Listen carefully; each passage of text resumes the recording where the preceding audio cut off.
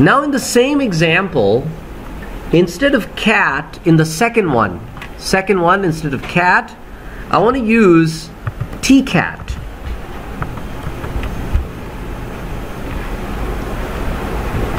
Save the changes,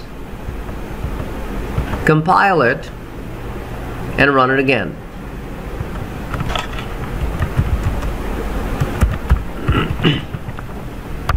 Okay, so notice now the period is next to the letter F. Okay? As opposed to all these extra spaces.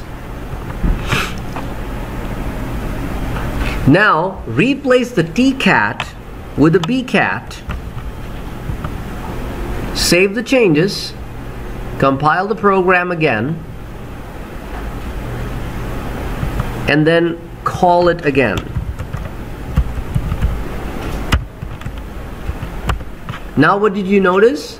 That it adds an extra space before the period because bcat it concatenates with a space.